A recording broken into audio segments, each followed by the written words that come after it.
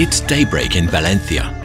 One of the main food product factories has received an important order from a buyer in Singapore.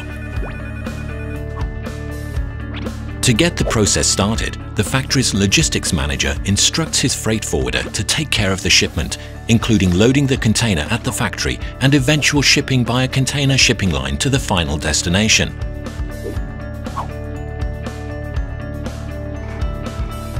The freight forwarder office has dispatched a truck to the container depot to pick up the refrigerated container, known as the reefer, which has been inspected and assigned by the shipping company or agent for this particular shipment. There are costs associated with this stage of the process. The container is transported to the factory. The truck is loaded. A forklift loads the products into the container. The merchandise is now ready for transport.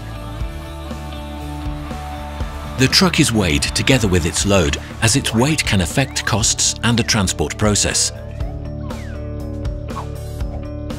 The container is then taken to the port container terminal where it is unloaded and stored with numerous other containers awaiting shipment on the appropriate vessel. The container is connected to a power supply at all times to ensure that the correct temperature is maintained.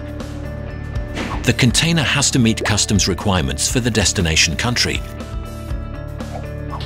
An ITV is positioned underneath the crane so that the container, along with others, can be loaded the container is stacked and lashed down on board the vessel so that it cannot move or fall off the vessel during transit. It is then connected to the vessel's power supply to maintain the temperature.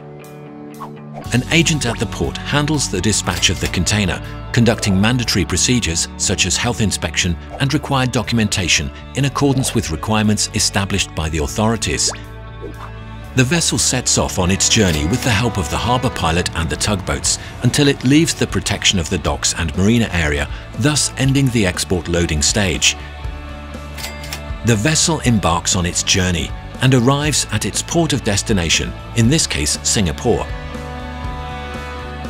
From this point on, the import process is similar to the export transaction, but in reverse order.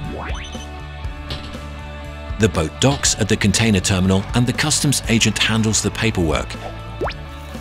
The container is discharged and stored in the terminal until it is cleared by customs authorities. The truck takes the container to the receiver's warehouse in Singapore, where the cargo is unloaded into store.